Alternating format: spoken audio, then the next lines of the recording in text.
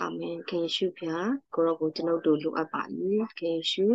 အာချိန်နာရီမှာဝိညာဉ်တော်ဖျားကိုရောတိုင်းပဲကျွေးမွေးတော်မူပါဒီကနေ့ညအတူတကားမွေးတော်ပြီးတော့အာဆင်ခြင်စားသုံးကြမယ့်အမှုရာပေါ်မှာဝိညာဉ်တော်ဖျားကပဲအလင်းဖွင့်ပြတော်မူပါကိုရောကိုယ်တိုင်ပဲကျွေးမွေးတော်မူပါအာမင်ခင်ဗျားကိုကျေးဇူးတင်တယ်ဒီနေ့မှာကျမတို့လူကပေါ့နော်ဆင်ခြင်စားသုံးကြမှာကယောဘအခန်းကြီး15 16 19ဖြစ်တယ်ပေါ့နော်ယောဘ 15 16 19ကိုကျမတို့ဒီကပေါ့နော်စာသုံးမွေးလော်ကြတဲ့အခါမှာအရင်ရက်ဒီမှာယောဘအကြောင်းကိုကျမတို့ဆင်ခြင်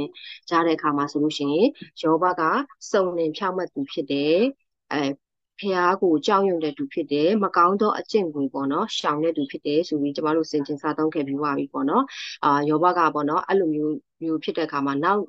တရက်မှာပေါ့ဘုရားကသူ့ကိုအခွင့်ပေးလိုက်တဲ့အခါမှာဆိုလို့ရှိရင်ပေါ့နော်ယောဘရဲ့အသက်တာမှာယောဘရဲ့ကောင်းမြတ်ခြင်းကိုချင်းတိတ်ခါရီရဆိုလို့ရှိရင်ပေါ့နော်ချွတ်ခွာခြင်းခံရတယ်ဆိုတဲ့ဟာကိုလည်းကျမတို့မွေးတော်ဝါမြောက်ခဲ့ပြီးကြပြီဖြစ်တယ်အဲ့မှာပေါ့နော်ယောဘကသူ့ရဲ့သားသမီးတွေပေါ့နော်သူ့ရဲ့ မိသားစုတွေသူချစ်ရတဲ့သူတွေဆုံးရှုံးဆုံးရှုံးတာကိုသူတွေ့ကြုံဖြတ်တန်းရတယ်သူ့ရဲ့ပိုင်ဆိုင်ခြင်းသူ့ရဲ့ဥစ္စာပစ္စည်းတွေပေါ့နော်ဥစ္စာပစ္စည်းတွေကဆိုလို့ရှိရင်ဆုံးရှုံးတဲ့အခါမှာဆိုလို့ဆိုလို့ရှိရင်ပေါ့နော်သူကအာယောဘတစ်ထဲမှာဆိုလို့ရှိရင်သူကလေအာဖះကပေးတယ်ပေါ့နော်အာဖះကပြန်ပြီးတော့ရုပ်သိမ်းနေပေါ့နော်ထာဝရဘုရားမင်္ဂလာရှိတယ်ဆိုပြီးတော့ယောဘကသူကအာအာမင်္ဂလာရှိပါစေတတိဆိုပြီးတော့သူကအတစ်လေးမှာတော့သူကတီးတီးခံနိုင်တယ်ပေါ့နော် အာတကယ်လို့ကျမတို့ရစုံစမ်းခြင်းစုံစမ်းဟိုခြင်းတွေပေါ့နော်ကိုမလို့ခြင်းတဲ့အခြေအနေတွေတွေ့ကြုံဖြတ်တန်းရတဲ့အခါမှာဒါကဖះ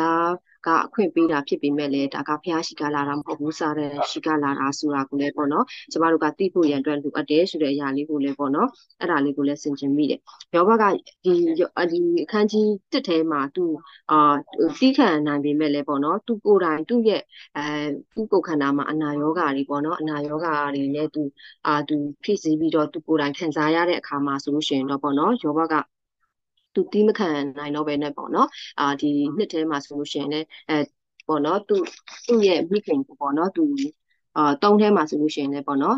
ဒီမှာဗာပြောထားတယ်ဆိုရောဘဒီနှုတ်ကိုဖွင့်ရင်မိမိဖွာသောနှစ်ရက်ကိုကျိန်ဆဲလဲမဆူဒီကငါဖွာသောနှစ်ရက်ပျက်စီးပါစီဆိုပြီးတော့သူကကိုယ်တိုင်အနာရောဂါနဲ့တွေ့ကြုံခံခံစားတဲ့အခါမှာသူကမခံနိုင်ဘူးဆိုတဲ့ခါလေးကိုလည်းဒါလေးကိုလည်းကျမတို့အစဉ်စင်ကျင်စားသုံးပြီးပါဖြစ်ပြီပေါ့နော်ရောဘကအဲ့လို တွေးကြုံဖြတ်တန်းရတဲ့အခါမှာဆိုလို့ရှိရင်သူ့ရဲ့မိတ်ဆွေဒီပေါ့နော်အာသူ့ရဲ့မိတ်ဆွေ၃ဦးကဆိုပြီးတော့လာပြီးတော့ပေါ့ယောဘနဲ့အတူတူကသူ့ရဲ့ဒုက္ခဆင်းရဲတွေကိုနှစ်သိမ့်နှစ်သိမ့်ဆွေးနွေးခဲ့ပြီးတော့ကအပြန်အလှန်ပြောဆိုကြတာဖြစ်တယ်ပေါ့နော်အပြန်အလှန်အပြန်အလှန်ပြောဆိုကြတာကိုကျမတို့အတူတကမွေးလော်စားသုံးခဲ့တဲ့အခါမှာဆိုလို့ရှိရင်အခုကအခန်းကြီး15ကိုရောက်ပြီဖြစ်တယ်အခန်းကြီး15မှာဆိုလို့ရှိရင်သူကတေမန်အမျိုးသားပေါ့နော်အေလိဖက်ကနေပြီးတော့ယောဘကိုအာသူကအာဒီမှာဆိုလို့ရှိရင်ခေါင်းစဉ်လေးကအေလိ အီလီဖတ်ဤအပြစ်တင်ခြင်းနဲ့အတိပေးခြင်းပေါ့နော်အတိအတိပေးခြင်းဆိုတဲ့အရာလေးနဲ့ကျမတို့ဒုတိယအကြိမ်မွေးလော်ရမှာဖြစ်တယ်နော်ပထမအကြိမ်မှာဆိုလို့ရှိရင်အီလီဖတ်ကအခန်းကြီး၄၅မှာလည်းပထမအကြိမ်ယောဘကိုသူကအာနှစ်သိမ့်တလို့နဲ့သူကအာယောဘကိုအာကောင်းမကောင်းနဲ့ပဲပေါ့နော်အမှဆိုလို့ရှိရင်သူကအာစီစီရင်ပြောဆိုတယ်ဆိုတာကိုလည်းကျမတို့မွေးလော်စားသုံးကြပြီဖြစ်တယ်ဖြစ်တယ်ပေါ့နော်ယောဘအခန်းကြီး၄ရဲ့၈လေးမှာဆိုလို့ရှိရင်သူကပထမအကြိမ်မှာဆိုလို့ရှိရင်ယောဘကိုဘာလေးကိုသူကပြောလဲဆိုလို့ရှိရင်ပေါ့နော် မတရားသောလေထွန်ခြင်းကိုပြုတော်သူနှင့်အာဓမမျိုးစေ့ကိုကျဲတော်သူတို့သည်ထိုတို့နှင့်အညီစကားကိုရိတ်တက်ကြတယ်ဆိုပြီးတော့သူကယူဆိုင်ပြုလို့ပြစ်ဒဏ်ခံစားရတယ်ဆိုပြီးတော့လည်းသူကအဲ့လိုပြောထားတွေ့တယ်အခုဒီမှာဆိုလို့ရှိရင်ပေါ့နော်အေလိဖက်ကဒုတိယအကြိမ်ယောဘကိုသူကဘာဘာကိုပြောတာလဲဆိုလို့ရှိရင်အပြစ်တင်ခြင်းနဲ့တတိပေးတာသူကဘာကိုအပြစ်တင်ပြောဆိုတာလဲဆိုလို့ရှိရင်ပြီးခဲ့တဲ့ရှေ့ကမ်းမှာကျမတို့စားသုံးခဲ့ပြီးတယ်လို့ပဲပေါ့နော်အာဇောဖာကနေပြီးတော့ ယောဘကိုအာနှစ်သိမ့်ပြောဆိုတဲ့အခါမှာဆိုလို့ရှိရင်ယောဘကဇောဖကိုလည်းပြန်ပြောတဲ့အပြင်ကိုအာဖျားခင်နဲ့အငင်းခုန်ပြုတ်တယ်ဆိုတဲ့ဟာကိုကျမတို့ဒီဒီလိုကပေါ့နော်မွေးလော်စားသုံးပြီးသွားပြီဖြစ်တယ်အဲ့ဒါလေးပေါ့နော်ယောဘကဖျားခင်ကိုပြန်ပြီးတော့ငင်းခုန်တာနဲ့ပတ်သက်ပြီးတော့နားထောင်ပြီးတဲ့အခါမှာဆိုလို့ရှိရင်အေလိဖက်ကပြန်ပြီးတော့ပြစ်တင်ပြောဆိုတယ်ဆိုတဲ့အရာလေးကိုပေါ့နော်ကျမတို့ဒီမှာဒီမှာဆိုလို့ရှိရင်တွေ့ရတယ်အခန်းကြီး1မှာဆိုလို့ရှိရင်နော်တေမန်အမျိုးသား အေလိဖတ်မတ်ဆိုဒီကတဲ့ပညာရှိသောသူဒီလေနစ်တူသောအချီးနှီးစကားကိုပြောတင်တယ်လို့တဲ့မိမိဝမ်းကိုအရှိလေနေပြည့်စီတယ်လို့အကျိုးမဲ့သောစကားကျေးဇူးမပြုနိုင်သောစကားနဲ့ဆွေးနွေးတယ်လို့ဆိုပြီးတော့ဒီမှာပေါ့နော်အာအေလိဖတ်ကနေပြောထားတာဖြစ်တယ်အာပညာရှိဖြစ်ရက်ဖြစ်သူဆိုလို့ရှိရင်ပေါ့နော်အချင်းကြီးသောစကားတွေနဲ့အာပေါ့နော်အကျိုးမရှိတဲ့စကားတွေနဲ့ ဘာလို့ပြောနေမှာလဲဆိုပြီးတော့ပေါ့နော်အေလိဖက်ကနေပြီးတော့ဒီမှာပြစ်တင်ထားတာဖြစ်တယ်အဲပြီးတဲ့အခါကျတော့မှပေါ့နော်လေးထဲမှာဆိုလို့ရှိရင်လည်းတင်ဒီအငယ်လေးမှာဆိုလို့ရှိရင်တင်ဒီတဲ့ဖះခင်ကိုကြောင်းရွံ့ခြင်းအကျင့်ကအကျိုးမရှိဘူးဆိုလို့ဤတဲ့စူတောင်းပထနာဝတ်ကိုစီတာတက်ဤဆိုပြီးတော့ခါကျတော့လေးလေးမှာဆိုသူကဘာပြောတာလဲဆိုလို့ရှိရင်ယောဘယူနေကဖះခင်ကိုကြောင်းရွံ့ခြင်းနဲ့ကင်းမဲ့တယ်တဲ့ဖျားခင်ရှိတော်၌စင်ကြင်အောက်မေ့ခြင်းကိုရှောင်ကြည်တတ်တဲ့ရှောင်ကြည်တတ်တဲ့လူဖြစ်တယ်ပေါ့နော်အာပြီးတဲ့အာဆိုဆိုပြီးတော့ပေါ့နော်ဒီမှာပြောထားတာဖြစ်တယ် နောက်ပြီးမှဆိုခန်းခန်းငယ်ရှစ်လေးမှာဆိုလို့ရှိရင်ပေါ့နော်ဖះခင်နဲ့တိတ်ဆိတ်စွာတိုင်မှုဘူးတလို့တဲ့ပညာကိုကိုကိုနိုင်ပေါ့နော်အကုန်အစင်တင်ထားဘူးတလို့ဆိုပြီးတော့လဲအဲဒီမှာပြစ်တင်ပြောထားတာဖြစ်တယ်ပြီးတော့ခါကျတော့အာအခန်းငယ်7မှာဆိုလို့ရှိရင်ပေါ့နော်တင်၌ဖျားခင်ပေးတော်မူသောတတ်တာခြင်းအကြောင်းနေသလိုတဲ့တင်၌ဝတ်ထားသောအမှုစုံတစ်ခုရှိသလိုဆိုပြီးတော့7လေးမှာလည်းကျမတို့ဟိုစင်ကြင်မွေးလျော်ရတယ်အဲ့မှာဆိုလို့ရှိရင် အာဒီအေလိဖက်ကဘာပြောတာလဲဆိုလို့ရှင်ဖះခင်ကနင့်ကိုပေးတဲ့တက်တာချင်းပေါ့နော်ညင်တာစွာပြောပြောဆိုခြင်းပေါ့ဖះရှင်ရဲ့ဖះရဲ့ view site ပေးမှုတွေကနည်းနည်းသေးလို့လားဆိုတော့သူကပြောပြောထားတာဖြစ်တယ်ပေါ့နော်ပြောထားတာဖြစ်တယ်73လေးမှဆိုလို့ရှိရင်ပေါ့နော်စိတ်တဘောဒီဖះခင်နဲ့စန့်ကျင်ပဲဖြစ်၍တဲ့လုံနဲ့ပြစ်မှာပြီတဲ့ဆိုတော့နင်ကပေါ့နော်ဖះခင်နဲ့ပေါ့နော်ဟို ပြောပြောယောဘကပြောချင်တဲ့သဘောကသူကဖျားနေတာသူကဖျားဖျားမဲ့တဲ့သူဖျားခင်ကိုကိုးစားတဲ့သူပေါ့မကောင်းတဲ့အကျင့်ကိုရှောင်တဲ့သူလို့သာပြောနေတယ်ဝိညာဉ်ကတော့ဖျားခင်နဲ့စန့်ကျင်ပဲဖြစ်ပြီးတော့နှုတ်ကပြောဆိုတဲ့စကားတွေကဖះကိုစန့်ကျင်တဲ့စကားတွေကိုပြောဆိုတဲ့သူဖြစ်တယ်ဆိုပြီးတော့ပေါ့နော်အဲ့ဒါလေးကိုပေါ့နော်ဟိုဒီမှာအေဒီဘက်ကနေပြီးတော့သူ့ကိုပြောထားတာဖြစ်တယ်ပေါ့နော်ပြီးတဲ့ခါကျတော့လေ အာဒီမှာဗာဆက်ပြောတာတွေ့ရလဲဆိုလို့ရှိရင်ပေါ့နော်အာလူဒီအဘယ်တို့တော်သူဖြစ်၍တန့်ရှင်းနိုင်တယ်တဲ့မိမဖွာတော်သူဒီအဘယ်တို့တော်သူဖြစ်၍တဲ့၆မှတ်နိုင်တယ်ဆိုပြီးတော့သူကအမှပြောဆိုထားတာဖြစ်တယ်အမှဆိုလို့ရှိရင်ပေါ့နော်အာမိမဖွာတဲ့တာကဘယ်ဘယ်တို့တော်သူဖြစ်လဲပေါ့နော်ဒီမှာဆက်ပြီးတော့စင်တင်မယ်15လေးမှာဘုရားခင်ဒီမိမိတန့်ရှင်းသူတို့ကိုပဲယုံတော်မမူတဲ့ကောင်းကင်ကောင်းကင်ပုံတော်လဲရှေ့တော်နိုင်မစင်ကြဲတဲ့ဒါဆိုလို့ရှိရင်ပေါ့နော်ယောဘခန်းကြီး1ရဲ့6လေးမှာဆိုလို့ရှိရင်ပေါ့နော်အာဘုရားခင်ရဲ့ အာဖះခင်ရဲ့သားတို့ကထာဝရဘုရားထံတို့ခါစားခါစားဖို့လာရောက်တဲ့အခါမှာစာတန်ကယွန်တော့ပြီးလာတာကိုဒါဆိုလိုတာဖြစ်တယ်ဆိုတဲ့အရာလေးကိုစင်ကြင်မွေ့လို့ရတယ်။ဒါကြောင့်ပေါ့နော်အဲဒီမှာဆိုလို့ရှိရင်အေလိဖက်ကဖာပြောတာလဲဆိုလို့ရှိရင်အာမိမဖမိမဖာတော့မိမဖာတော့သားကပေါ့နော်ဘလို့လို့တန့်ရှင်တန့်ရှင်ဖြောက်ဖြောက်မှတ်နိုင်ပါလေပေါ့နော်ကောင်းကင်ဘုံတော်မရှိတော်မှမစင်ကြဘူးဆိုလို့ရှိရင်ဘလို့မျိုးပေါ့နော်တန့်ရှင်ဒီမှာဆိုလို့ဆက်ပြောထားတယ်နော်ရေကိုတောက်တကဲ့တူတဲ့ဒူးဆက်ကိုပြုတ်လျက်စိုးညွတ် တော်လူတတဝါနာအဖေစုပွေရာရှိပဲရှိတယ်နည်းဆိုပြီးတော့ပေါ့နော်ယောဘကိုပြောပြောပြောထားတာဖြစ်တယ်အာယောဘကိုသူကပြန်ပြီးပြောထားတာဖြစ်တယ်ပေါ့နော်အာသူကဘယ်လိုပြောလဲဆိုလို့ရှိရင်နှစ်သိမ့်တယ်လို့နဲ့ပေါ့နော်သူကိုပြစ်တယ်ပြောဆိုတယ်ဆိုတဲ့အရာလေးကိုလည်းမွေးတော်ဝမ်းမြောက်ရတယ်နောက်ပြီးတော့သူကအာယောဘကိုဆိုလို့ရှိရင်ဒီမှာအာပြန်ပြီးတော့ပေါ့နော်အာဒီမှာဆိုတတိပေးပြောဆိုတယ်အဲ့ဒါကအခန်းငယ်ဆက်ခွန်လေးမှာရှိတယ်နော် အာအခန်းငယ်ဆက်ခွန်ကငါစကားကိုနားထောင်တော့တဘာအမျိုးသားနဲ့မရောနော်ကိုကိုတမျိုးတည်းသာလင်မြေကိုပိုင်သောပညာရှိတို့သည်ဘိုးဘေးလက်ထက်မှစရင်မထိန်မဝက်ပြောဘူးသောအရာ ငါကိုယ်တိုင်မြင်ရသောအရာကိုငါပြတာမည်တဲ့ဆိုလို့ရှိရင်ဒီမှာအီလီဖက်ကပါပြောလိုက်ဆိုလို့ငါပြောမယ်ပေါ့နော်နားထောင်တဲ့ငါပြောမယ့်စကားတွေကဆိုလို့ရှိရင်ပေါ့နော် तू တိတဲ့ तू အသိဉာဏ်အတိုင်း तू ပြောတာမဟုတ်ဘူး तू ရှောက်ပြောတာမဟုတ်ဘူးတဲ့အာဒီမှာဆိုလို့ရှိရင်ဘိုးဘေးတို့လက်ထက်မှစပြီးပေါ့နော်မထိန်မဝက်အစစ်စစ်ပြောဆိုခဲ့တဲ့စကားကိုငါပြောမှဖြစ်တယ်ဆိုပြီးတော့အာအီလီဖက်ကနေပြီးတော့ပေါ့နော်ယောဘကြီးကို အာတတိပေးပြောဆိုတာဖြစ်တယ်အမှားကသူကဘာပြောချင်တာလဲဆိုလို့ရှိရင်အခန်းငယ်20မှာဆိုလို့ရှိရင်နော်စိုးသောသူသည်တသက်လုံးဒုက္ခဆင်းရဲကိုခံရ၍တဲ့ညှင်းဆက်တတ်သောသူသည်မိမိအသက်အပိုင်းခြားကိုမသိရတဲ့ဆိုသူမှာသူကပြောချင်တာကစိုးသောသူနဲ့ညှင်းဆဲတတ်တော်သူစိုးသောသူဆိုလို့ရှင်ဒုက္ခဆင်းရဲကိုခံရမယ်ဆိုတာကိုပြောတာညှင်းဆဲတတ်တော်သူဆိုလို့ရှင်မိမိအသက်ပိုင်းခြားကိုမသိရဘူးဆိုတဲ့အရာလေးကိုပေါ့နော်အာသူအဲ့ဒီဘက်ကနေပြီးတော့ယောဘကိုပြောနေခြင်းဖြစ်တယ်နောက်ပြီးတော့ အာအဲ့လိုလူမျိုးကအဲ့လိုလူမျိုးအတွက်ကဒီမှာဆိုလို့ရှိရင်ပေါ့နော်20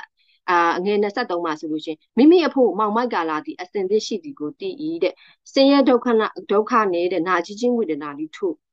တို့ဒီထို့သူတို့ကိုကြောက်ချတတ်ဤတဲ့ အမှဆိုလို့ရှိရင်ပေါ့နော်သူပြောချင်တဲ့သဘောကစိုးတော်သူနဲ့စိုးတော်သူနဲ့ညင်ဆက်တတ်တော်သူဟာဆိုလို့ရှိရင်အာမှောင်မိုက်ကာလာကသူတို့အတွက်အစင်သစ်ရှိတယ်ဆိုတဲ့အရာလေးကိုလည်းအာတတိပေးပြောဆိုထားတာဖြစ်တယ်ပေါ့နော်အီလီဖတ်အီလီဖတ်ကနေပြီးတော့ယောဘကိုယောဘကိုပြောဆိုထားတာဖြစ်တယ်အဲ့လိုလူစိုးတော်သူညင်ဆက်တတ်တော်သူကဘယ်လိုလူမျိုးလဲဆိုလို့ရှိရင်သူကအာအခန်းငယ် 25မှာဆိုလို့ရှိရင်နော်အကြောင်းမူကားထို့သူဒီဖျားခင်အာနာတော်ကိုစန့်စန့်ကျင်လက်ပေါ့နော်အနန္တတကူရှင်ဘက်ကနေကိုကိုခိုင်ခန့်စီတော်သူဖြစ်တယ်ဆိုတော်သူညင်းဆဲတတ်တော်သူကဘလို့လူမျိုးလဲဆိုလို့ရှိရင်တဲ့ထို့သူဒီတဲ့ဖျားခင်အာနာတော်ကိုစန့်လဲအနန္တတကူရှင်တစ်ဖက်၌ကိုကိုကိုခိုင်ခန့်စီတယ်တဲ့နော်ဒီဟာလေးကဘာဒါလေးနဲ့ပတ်သက်ပြီးတော့ပေါ့နော်ဘာလေးကိုဆင်ကျင်မွေ့လို့ရလဲဆိုလို့ရှိရင်ပေါ့နော်ရောအာရောမရှစ်ခွန်လေးကိုလည်းဖတ်ချင်တယ်နော်ရောမရှစ်ခွန်လေးမှာဆိုလို့ရှိရင်ပေါ့နော် ဘာပြောထားလဲဆိုလို့ရှိရင် အဖေကြောင့်မိခုမှုကဇာတိပတိစိတ်ပေါ်ဒီဖျားခင်နဲ့ဆန့်ကျင်ဘက်ဖြစ်တယ်။ဒီမှာ25မှာဆိုလို့ရှိရင်ပေါ့နော်ဖျားခင်နဲ့ဖျားခင်ရဲ့အာနာတော်ကိုဆက်ပြီးတော့ဆက်ဆက်ဆက်ပြီးတော့ပေါ့နော်အနန္တတကုရှင်တစ်ဖက်နဲ့ကိုကိုခံခန့်စီတယ်ဆိုတဲ့ကအာပြောပြောချင်တာကဘာလဲဆိုလို့ရှိရင်ကျမကျမတို့ကဖျားဖျားဖျားနဲ့ဆန့်ကျင်ပြီးရက်တည်တာဆိုလို့ရှိရင်ဖျားနဲ့ဆန့်ကျင်ဘက်ဖြစ်တဲ့အရာမှာနေတာဟာဆိုလို့ရှိရင်ဒါကဇာတိပဂတိနဲ့ပဲကျမတို့ကအသက်ရှင်နေပေါ့နော်ဇာတိစာယာဇာတိအသွေးသားတွေနဲ့အသက်ရှင်တော့ဖြစ်တယ်ဆိုတဲ့ဟာအရာကိုဆိုလိုတာဖြစ်တယ်ပေါ့နော်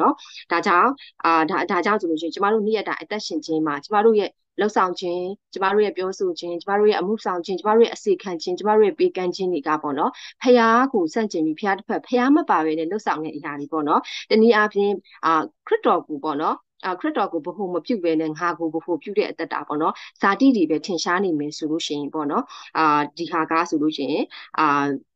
သူတို့အဲ့လိုလူမျိုးအတွက်ပေါ့နော်ဒီ23မှာဆိုလို့ရှိရင်မှောင်မိုက်ကာလာတိ မောင်မောင်မိုက်ကာလာကအစင်သစ်ရှိမယ်ဆိုပြီးတော့ပေါ့နော်အေဒီဘက်ကနေပြီးတော့ဒါကသတိပေးပြောဆိုတာဖြစ်တယ်ဒီလိုမျိုးအဲ့လိုမျိုးလူကဆိုလို့ရှိရင်ဒီမှာဆိုစက်ပြီးတော့ပြောထားတယ်နော်သူကလေဟိုဖျားခင်အဲအာနာတော်ကိုစန့်ကျင်ပြီးတော့အနန္တတကုရှင်တစ်ဖက်၌ဘလို့ခံခန့်အောင်တိဆောက်လဲဆိုလို့ရှိရင်မိမိမျက်နာကိုတဲ့စုဖြိုးခြင်းနဲ့ဖောင်းအုပ်၍ဝမ်းပြင်းအသားဒီလဲစုဖြိုးလဲအတွန့်တွန့်နေ၏တဲ့ အတွန့်တွန့်နေဆိုပြောချင်တဲ့သဘောကသူ့မှာလေဇာတိတွေဖះမပါဖះတစ်ဖက်နိုင်ပေါ့နော်ဖះတစ်ဖက်နိုင်နေမယ်ဆိုလို့ရှိရင်ဒါကဇာတိຢာတွေနဲ့ထင်ရှားနေတာလောကစနစ်တွေနဲ့ကြွယ်ဝနေတဲ့ဆိုတဲ့အရာလေးကိုလည်းမွေးတော်ဝမ်းမြောက်ရတယ်ပေါ့နော်အဲ့လိုဒါပေမဲ့ဒို့တော်လဲတဲ့လူစိတ်ညံတော်မျိုးအဘယ်သူများမနေလဲလူတော်အိမ်တိုင်းတူတူနေရ၏တဲ့ဘလို့ပဲပေါ့နော်ဖះမပါပဲဖះတစ်ဖက်မှာကျမတို့ဘလို့ပဲရက်တည်ပြီးတော့ကျမတို့တိစပြီးတော့ကျမတို့အသက်ရှင် ရှင်တန်နေပါစေပေါ့နော်အာဒါဒါကဆိုလို့ရှိရင်အဲ့လိုလူမျိုးတွေအတွက်မောင်မိုက်ကလာကအစင်သင့်ရှိတယ်လို့ဒီမှာပေါ့နော်နေစရာအိမ်လည်းမရှိဘူးပေါ့နော်အလဲလူတော့အိမ်တိုင်းလည်းအဲ့ဒီလူမျိုးကပေါ့နော်နေနေရမယ်ဆိုတဲ့အရာလေးကိုလည်းပေါ့နော်အာဒီမှာတတိပိပြောဆိုတာတာဖြစ်တယ်30လေးမှာဆိုလို့ရှိရင်ဖျားခင်နှုတ်တော်အသက်အားဖြင့်နဲ့တုတ်တင်ပယ်ရှင်းခြင်းကိုခံရ၍အဘယ်သူများလက်စားခြင်းကိုခံ၍အနတ္တကိုမဖူလုံစေနေတဲ့ကျမတို့ကပေါ့နော် ဘုရားခင်နှုတ်တော်အသက်အဖြစ်နဲ့ဒီမှာတုတ်တင်ဖယ်ရှင်ခြင်းကိုခံရမယ်လို့ပြောထားတာဖြစ်တယ်။ဒါကြောင့်ကျမတို့နေ့ရက်တိုင်းအသက်ရှင်ခြင်းမှာအာအရန်အရေးကြီးပါတယ်။အဲ့ဒါကစင်ကျင်မှုလို့ပို့ရန်ဖြစ်တယ်။အာနန္ဒတကူရှင်ကိုစန့်ကျင်ပြီးတော့ဘုရားတစ်ဖက်၌ခံခန့်အောင်ရက်တည်နေမယ်ဆိုလို့ရှိရင်အဲ့လိုလူမျိုးတက်ကမောင်မိုက်ကမောင်မိုက်ကာလကအစင်းနဲ့ရှိတယ်ခရစ်တော်ကိုဘဟုမပြုတ်ပဲနဲ့ငါကိုဘဟုပြုတ်ပြီးခရစ်တော်မထင်ရှားပဲနဲ့ငါထင်ရှားတဲ့အတ္တတာဟာဆိုလို့ရှိရင်ပေါ့နော်မောင်မိုက်ကာလကအစင်းနဲ့ရှိဖို့ရှိတယ်ဆိုတဲ့အရာလေးကိုဒါကျမတို့ပေါ့နော်ရောက်စတိုင်းစင်ကျင်မှုရန်ဖြစ်တယ် အာဒီယောဘယောဘအခန်းကြီး15မှာဆိုလို့ရှိရင်ပေါ့နော်အာယောအေလိဖက်ကနေပြီးတော့တတိပေးထားတဲ့အရာတွေကလည်းသူကလေဘယ်တဲ့ဘယ်ပေါ်မှာလဲခုရှေ့ကအခန်းကြီးလိုပဲသူကကောင်းမကောင်းကောင်းမကောင်းအလေးလာပေါ်မှာပဲမူတည်ပြီးတော့ပေါ့နော်အခြေခံထားတာတွေ့တယ်ဆိုတဲ့အရာလေးကိုလည်းကျမတို့ဆင်ခြင်ရတယ်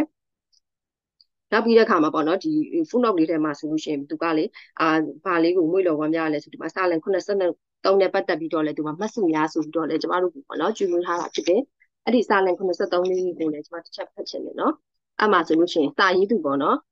စာရေးသူတဲ့အာဒီမှာစာရေးသူစာလန်ကိုရေးဆက်တဲ့အာတက်ကဆိုလို့ရှိရင်ပေါ့နော်စာလန်83 3လေးမှာဆိုလို့ရှိရင်အကြောင်းမူကားတဲ့စိုးရုပ်တော်သူဤစီးစိမ်ကိုမြင်တော့အခါမိုက်တော်သူကိုပင်ကညူစုဤတဲ့စနစ်အခန်းငယ်စနစ်လေးမှာဆိုလို့ရှိရင်ကြည့်ရှုလောတဲ့ထိုစိုးရုပ်တော်သူတို့ဒီအစဉ်ကောင်းစား၍ဥစ္စာပွားများကြ၏တဲ့ဒီအချိန်တွေကဘယ်လိုလဲဆိုလို့ရှိရင်ပေါ့နော် အာယောဘကြီးကယောဘကြီးဆိုလို့ရှိရင်လည်းသူ့ကိုယ်သူပေါ့နော်ငါကောင်းတယ်ငါဖျောက်မှတ်တယ်ငါကဖျားခွင်ကိုကြောင်းရွံ့တဲ့သူဖြစ်တယ်ပေါ့နော်မကောင်းတာတွေကိုလည်းသူကရှောင်နေတဲ့သူဖြစ်ပါလေနဲ့အာသူ့ရဲ့အတ္တတာမှာပေါ့နော်ဒုက္ခဆင်းရဲအဲဒီနဲ့သူတွေ့ကြုံဖြတ်တန်းရတဲ့ခါမှာသူတွေ့ကြုံဖြတ်တန်းရတဲ့ဟာကိုသူနာသူကိုယ်တိုင်ကလည်းနားမလည်နိုင်တယ်လို့သူ့ကိုလာပြီးတော့ပေါ့နော်နှစ်သိမ့်ဆွေးနွေးတဲ့သူတွေနှစ်သိမ့်ပြီးတော့အားပေးတဲ့သူတွေကလည်းပေါ့နော် အာအခြေအနေကပြောင်းပြန်ဖြစ်တယ်ပေါ့နော်တကယ်လို့ကိုယ့်ရဲ့အတ္တမှာကိုနားမလည်နိုင်တဲ့အခြေအနေကိုတွေ့ကြုံတဲ့အခါမှာဆိုလို့ရှိရင်ပေါ့နော်ဒီဟာလေးနဲ့ပတ်သက်ပြီးကျွေးမွေးထားတာဖြစ်တယ်အာစာလန်ကိုရေးသားတဲ့အာတက်ကလည်းသူဒီမှာဆိုလို့ရှိရင်ဆိုလို့တော်သူတွေစီးစံကိုမြင်တဲ့အခါမှာမိုက်တော်သူကိုပဲငါညူစီပဲတဲ့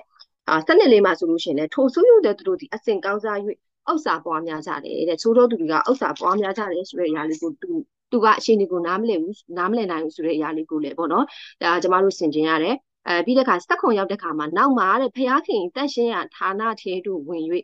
သူတို့သူတို့၏အဆုံးကိုသိမြင်ရပါ၏တဲ့ဆိုတဲ့အခါမှာဒီမှာဒီမှာဆိုလို့ရှိရင်စာလန်စာလန်ကိုရေးသားတယ်ပေါ့နော်အာတက်ကဆိုလို့ရှိရင် အာတန်ရှင်းရထားတာတွေဝင်တဲ့အခါမှာသူကအဖြေကိုရသွားတာဖြစ်တယ်ဆိုတဲ့အရာလေးကိုမွေလော်ဝမ်းမြောက်ရတယ်သူကအဲ့လိုအဖြေရသွားတဲ့ခါမှာဆိုလို့ရှိရင်အငယ်26မှာဆိုလို့ရှိရင်เนาะအကျွန်ုပ်အသားနေတဲ့စိတ်နှလုံးပြတ်ကြပါ၏တဲ့သို့တော်လည်းတဲ့ဖျားခင်နဲ့အကျွန်ုပ်စိတ်နှလုံးကြောက် အကျွန်ုပ်ဤဝိစုအစဉ်အမြဲဖြစ်တော်မူ၏တဲ့အိုခင်ရှုသူကလေအဲသူ့ရဲ့အသားနဲ့စိတ်နှလုံးသူ့ရဲ့အခြေအနေဘယ်လိုပဲဖြစ်နေပါစီဒီမှာဆိုနောက်ဆုံးမှသူဘာကိုမြင်သွားလဲဆိုလို့ရှိရင်ပေါ့နော်ဖះခင်ကသူ့ရဲ့စိတ်နှလုံးရဲ့ကြောက်သူ့ရဲ့ဝိစုဖြစ်သွားတယ်ဆိုတဲ့အရာလေးကိုလည်းသူမြင်တွေ့ရတယ်။ဒါလေးနဲ့ပတ်သက်ပြီးတော့ပေါ့နော်ဖုနှုတ်လေးကိုကျွန်မကဖတ်ချင်တယ်အမှဘာလေးလဲဆိုတော့ပေါ့နော်စိုးရုပ်တော်သူများဤစီးစိမ်နဲ့ဆက်လင်၍တဲ့စာလံရေးဆက်သူဤတွေ့ဝေမှုကိုဖြည့်ရှင်းချက်မှာတဲ့ ဖျားခင်တန့်ရှင်ရာဌာနတော်၌ရရှိခဲ့သည်ရှေးဥစွာဖျားခင်သည်တန့်ရှင်ရာဌာနတော်ကိုတော်ကိန်းဝတ်တော်နေရာကျွန်ုပ်တို့၏ဝိညာဉ်၌ဖြစ်၍ဒုတိယရှင်သည်အသင်းတော်ဖြစ်သည်တဲ့ထို့ကြောင့်ဖျားခင်တန့်ရှင်ရာဌာနတော်သို့သွားရင်ကျွန်ုပ်တို့သည်ကျွန်ုပ်တို့၏ဝိညာဉ်တို့လက်ပြန်ကအသင်းတော်၏စီဝေခြင်းများသို့သွားရန်လိုအပ်သည်တဲ့ကျွန်ုပ်တို့သည်တန့်ရှင်ရာဌာနတော်၌ဝိညာဉ်၌အသင်းတော်၌တစ်ချိန်ရှိပြီဆိုလျင်တဲ့ကျွန်ုပ်တို့၌ဆိုးရွသောသူတို့၏ဆက်လင်၍အခြေအနေကို အခြားသောအမြင်အထူးဖြစ်သောမြင်ခြင်းနဲ့ရှိလာပေမည်တဲ့ကျွန်ုပ်တို့ဤဝိညာဉ်နှင့်အသင်းတော်၌ကျွန်ုပ်တို့သည်ဖျားဆိုင်ရာဖွင့်ပြခြင်းကိုရရှိကကျွန်ုပ်တို့ဤပြဿနာအလုံးကိုဖြည့်ရှင်းချက်အားရရှိကြမည်ဖြစ်ပြီးတဲ့ okay ရှုဒါကြောင့်ပေါ့နော်ဒီမှာရှိတဲ့ညီကိုဒီမှာတယောက်စီတိုင်းတွေ့ကြုံရတဲ့အရာတွေကိုနားမလဲတဲ့အခြေအနေတွေဖြတ်တန်းရတဲ့အခါမှာဆိုလို့ရှိရင်အာ ဒီနေ့မှာဖះကပြောတယ်ဗာပြောတာလဲဆိုရှင်ကျမတို့ကတန့်ရှင်းရဌာနတော်ကိုဝင်သွားဖို့ပဲလိုတယ်ဆိုတဲ့အရာလေးကိုဖះကပြောနေတာတန့်ရှင်းရဌာနတော်ကိုဝင်ဖို့ဆိုလို့ရှိရင်ပဲလေပေါ့နော်တန့်ဖះခင်ရဲ့တန့်ရှင်းရဌာနတော်ကိုရောကိန်းမွတ်တော်နေရာကပထမကကျွန်ုပ်တို့ရဲ့ဝင်ကျင်နိုင်ပဲဖြစ်တယ်ဆိုတဲ့အရာလေးကိုလေမွေလော်ဝမ်းများရတယ်ဒုတိယဆိုလို့ရှိရင်ပေါ့နော်အသင်းတော်ဖြစ်တယ်ဆိုတဲ့အရာလေးကိုလေဖះကကြွမွေးထားတဲ့ဒါဒါကြောင့်ကျမတို့ကဝိညာဉ်နဲ့ဝိညာဉ်နဲ့အသင်းတော်တိုင်းကျွန်တော်တို့ကရှိလိုက်တိုင်းရှိလိုက်တိုင်းမှာဆိုလို့ရှိရင်ပေါ့နော်ဖះဆိုင်ရာ ဖះဆိုင်ရာအမြင်ပေါ့နော်ကျွန်တော်တို့ကပြဿနာတွေကိုကျွန်တော်တို့မမြင်တော့ဘဲနဲ့ပြဿနာတွေကိုဟိုပြဿနာတွေအခက်ခဲတွေကိုကျမတို့ကဖုံးလွှမ်းခြင်းမခံရဘဲနဲ့ပေါ့နော်ဖះကဘာဖြစ်စေခြင်းလဲဒီထဲကနေပြီးတော့ဒီအမြင်တွေဖះမြင်စေခြင်းတဲ့အမြင်တွေကိုမြင်ရမှာဖြစ်တယ်ဆိုတဲ့အရာလေးကိုမှုတော်ဝမ်းမြရတယ်ဒါကြောင့်အရောက်စီတိုင်းဘလို့အခြေအနေအခြေအခြေအနေတွေတွေ့ကြုံရပါစီနားမလည်နိုင်တဲ့အခြေအနေတွေတွေ့ကြုံရပါစီကျွန်တော်တို့ကဝိညာဉ်၌ပဲရှိဖို့လိုတယ်အသင်းတော်၌ရှိဖို့လိုတယ် ဒါမှလည်းကျမတို့အသက်တာကမဆုံးရှုံးမှဖြစ်တယ်လို့ကျမတို့ကလွတ်မြောက်ခြင်းနဲ့ခံစားရမှာဖြစ်တယ်ဆိုတဲ့အရာလေးကိုလည်းဝိလောဝမ်းများရပါတယ်နောက်ပြီးတဲ့ခါကျတော့ပေါ့နော်ဒီ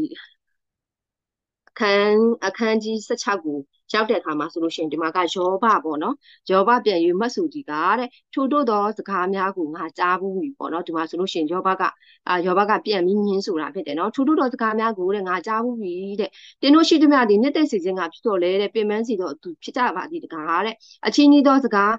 မကုံနိုင်တယ်လို့တဲ့တင်းဒီစကားတုံ့ပြန်ပြောခြင်းကအဖေကြောင့်ရရင်တနည်းတဲ့ တင်းတို့ပြောတဲ့ကဲ့သို့ငါဒီလည်းပြောနိုင်ပြီဒီမှာယောဘကပြန်ပြီးညင်းဆိုထားတာဖြစ်တယ်နော်အာနင်တို့ပြောတဲ့စကားတွေကအာ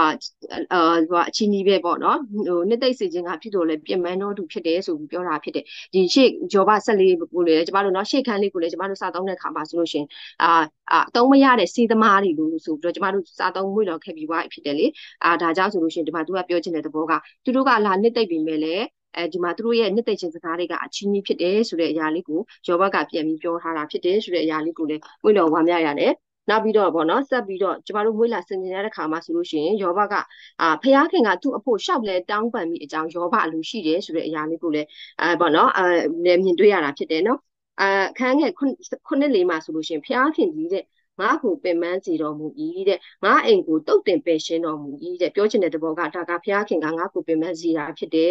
ငါအိမ်ကိုလည်းတုတ်တင်ပယ်ရှင်းတယ်ပေါ့နော်ဒါကဆိုလို့ရှိရင်သူသူသူချေရတယ်သူရဲ့အပေါင်းအသင်းမိသားစုတွေဒါဆုံးရှုံးရတယ်ဆိုတဲ့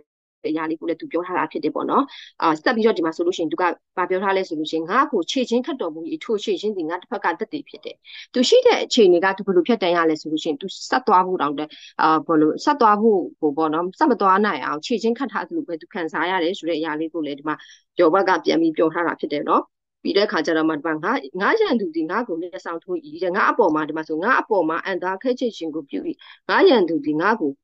မျက်ဆောင်ထိုးဤဆိုတဲ့ခါမှာဒါသူဘာက သူ့ကိုဒေါသထွက်စိတ်ဆိုးပြီးတော့သူ့ကိုကြောက်ချသူ့ကိုကဲရဲတဲ့အခြေအနေဖြစ်တယ်ပေါ့နော်ဒီအခြေအနေကိုလေသူကပေါ့နော်အာသူကအဲ့လိုမျိုးဖြတ်တန်းရတယ်ဆိုတဲ့ခါကိုသူပြန်ပြောတယ်နောက်ပြီးက73မှာဆိုလို့ရှိရင်ပေါ့ညားတို့ဒီငါ့ကိုဝါရဲ့ဂုဏတော့မရှိပဲငါကြောက်ကတ်ကိုစူးစေတော်မူ၏တဲ့โอเคရှင်ကျမတို့ပေါ့နော်ဒီအခြေအနေကဆိုလို့ရှိရင်ခံရခက်တဲ့အခြေအနေပေါ့နော်ခံရခက်တဲ့အခြေအနေပဲဖြစ်တယ်ဘယ်လောက်တောင်သူခံရခက်လဲဆိုလို့ရှိရင်16မှာငိုခြင်းအပြင်ငါမျက်နာပြက်လက် ငါ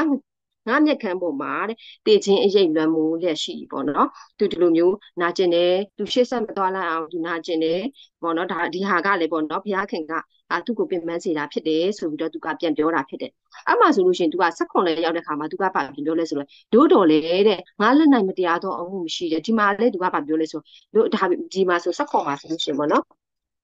ငါငါကပေါ့နော်ငါလက်နိုင်အကြံဖတ်မှုရှင်ငါဆူတောင်းခြင်းတန့်ရှင်းတယ်ဆိုပြီးတော့သူကပြန်ပြောထားတာဒီအချိန်လေးမှာလဲယောဘကလေငါတန့်ရှင်းတယ်ငါကမတရားတဲ့အမှုကိုမပြုတ်ဘူးဆိုပြီးတော့ပေါ့ယောဘကပြန်ပြောတာဖြစ်တယ်ဆိုတဲ့အရာလေးကိုလည်းတွေ့ရတယ်အဲ့မှာဆိုလို့ရှိရင်ပေါ့သူကဖျားခင်ကသူ့အတွက်တတ်သိဖြစ်ဖွေးဖို့ရန်အတွက်သူအလိုရှိတယ်ဆိုတဲ့အရာလေးကိုလည်းဒီမှာမို့လို့ဝမ်းမြောက်ရတယ်ဆက်ရှစ်မှာဆိုလို့ရှိရင်အိုမြေကြီးတဲ့ငါအသွေးကိုဖုံးရမထားပါနဲ့ပေါ့နော်ဒီမှာဆိုလို့ရှိရင်အိုမြေကြီးတဲ့ငါငါအသွေးကိုဖုံးရမထားပါနဲ့ ငါအောင်ဟိရှင်အတန်ကိုတင်တိုင်းမနေစေနဲ့တဲ့ဤအမှုဒီငါဤအမှု၌ငါတက်တည်ကောင်းကင်ဘုံမှာရှိ၏ငါသဘောကိုတည်တော်သူဒီမြင့်တော်အရ၌ရှိ၏ဆိုတဲ့အရာလေးကိုသူကလေပြောထားတာဖြစ်တယ်နော်ဒီတွေ့ကြုံရတဲ့ဖြစ်တတ်ရတဲ့အခြေအနေမှာဆိုလို့ရှိရင်သူကဘာကိုဘာကိုအလိုရှိတာလဲဆိုလို့ရှင်ဘုရားကသူ့တစ်ဖက်၌တက်တည်ပေးဖို့ရန်အတွက်သူအလိုရှိတယ်ဆိုတဲ့အရာလေးကိုလည်းသူပြောထားတာဖြစ်တယ်ပေါ့နော် နောက်ပြီးတော့ယောဘဝတ္ထုရဲ့အခန်းကြီး7လေးမှာဆိုလို့ရှိရင်လည်းပေါ့နော်အာဒီမှာငါအသက်ကုန်ပြီဆိုပြီးတော့ပြောထားတာဖြစ်တယ်အာယောဘကပေါ့နော်ဒီမှာငါအသက်ကုန်ပြီငါအသက်ကုန်ပြီဆိုလို့ရှိရင်ဒီကာဘာရီကျမ်းထဲမှာဆိုလို့သူကငါဝိညာဉ်ကျိုးပတ်ကျိုးပြတ်ပြီဆိုပြီးတော့သူကပြောထားတာလေပြောထားတာဖြစ်တယ်နော်အာသူကငါအသက်ကုန်ပြီငါနေရတော့ကာလလုံပြီတဲ့တင်းချိုင်းဒီငါအဖို့နေရဖြစ်ဤကဲရတော့ကဲရတတ်တော့သူဒီငါရှိမှရှိရှိကြသည်မဟုတ်လားတဲ့သူတို့ဒီ အချင်းအရာတို့ကိုအစင်ကကြည့်မြင်ရသည်မဟုတ်လားမဟုတ်လို့ဆိုပြောထားတယ်နော်အာသူကလေဘလောက်တောင်မှပေါ့နော်အာဒီမှာဆိုလို့ရှိရင်အခန်းငယ်9မှာဆိုအကျဉ်သူသည်ဥစ္စာကိုလူယူအပ်တော့ငါအဆွေခင်ဘုံကိုအပ်၏ထိုသူဤသားတို့သည်မျောလင့်၍စိတ်ပြည့်ရကြ၏တဲ့ငါကိုသူတစ်ပါးကဲရဲ့စာအကြောင်းဖြစ်စေတော်မူ၏တဲ့သူတို့သည်ငါကိုရှင်ကြ၏ဝမ်းနေခြင်းအားကြီးလွန်းကြောင့်ငါမျက်စီမုံ၍ကိုအင်္ဂါများတို့သည်အရေးဖြစ်ကြ၏တဲ့